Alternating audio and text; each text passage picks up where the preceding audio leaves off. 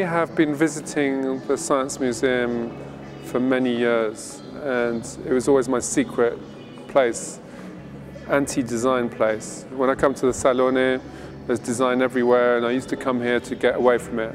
I've always been inspired by the, um, the technology aspect of the museum, right? The way that technology has changed the way everything around us is, you know. So I think it's an inspirational backdrop and this year we were looking for somewhere different to show and there's very few buildings in Milan that haven't been used for design so it's kind of great to open up and show everybody um, this fabulous space.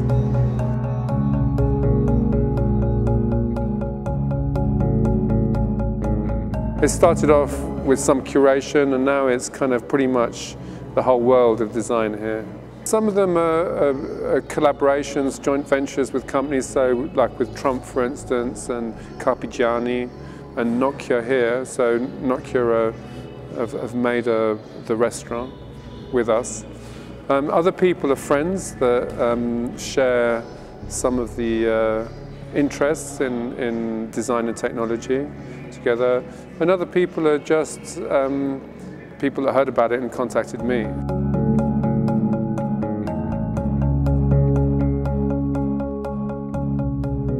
Well, we, we, we um, our company produces a lot of lighting products and too often we talk a lot about the shape of the object or how it looks in an interior, but we don't really talk enough about the light that it makes. And I think for a lot of people, um, don't feel very expert in terms of how you use lighting and what effects you can produce and the rest of it. So, and also because all of the bulbs and the technology is changing all the time. It's often very difficult to keep up with what an LED will do or compact fluorescence or halogen. Or, so people are very confused. So we want to try and talk about luminosity in a very simple way and really demystify it.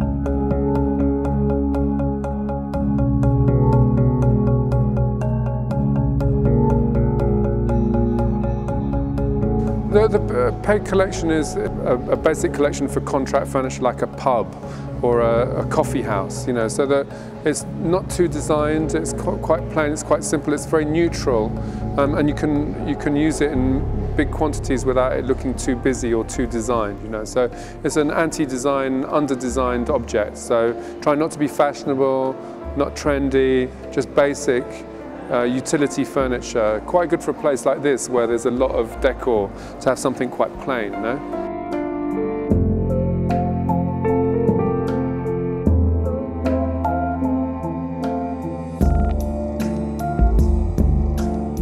I think, you know, design is, is a great um, trade, is, but people think it's a bit like sculpture, that people are only interested in making a shape. But I think a designer has to be interested also in the material, in the production process, in the price, in the packaging, in the communication of the object as well, right?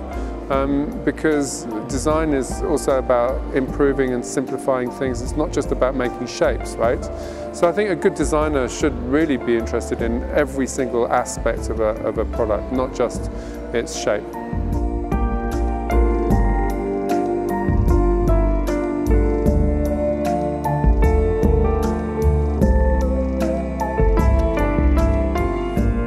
I spend a lot of time thinking about the production process because most designers work for other companies, many companies. I work for my own company, so I have to know how to make things, right?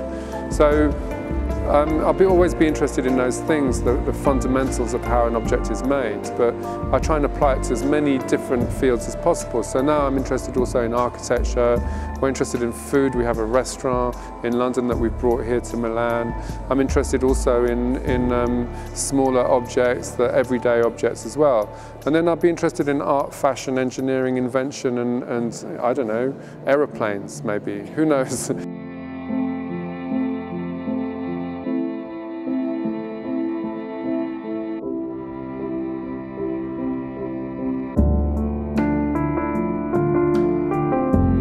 I've designed a chair and I've designed a lamp that are made by digital manufacturing, right? So I think the advantage is really here we're able to do instant manufacturing. So something I designed in London last week, I can make in Milan today, and I can make in New York tomorrow. Yeah? And I can make one, or I can make 100,000, all using the same processes. Um, and I think this is completely different from what it was like to make industrially produced products when I started out. So I think the distance between the designer and the consumer is so much closer now. And what I'm demonstrating is how easy you can um, get products to market. So instantly take the machine to the consumer.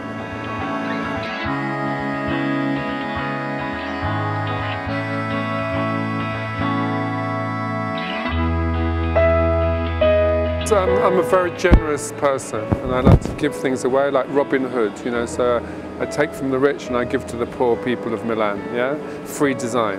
And so the idea really is that um, it's a cheap way of being popular. Yeah? and it, it, means that you, you have a real accessibility to design. I think the idea is really to demonstrate the speed with which we can make things now. And also to try and create a bit of a buzz around a new product which we're trying to launch. You know?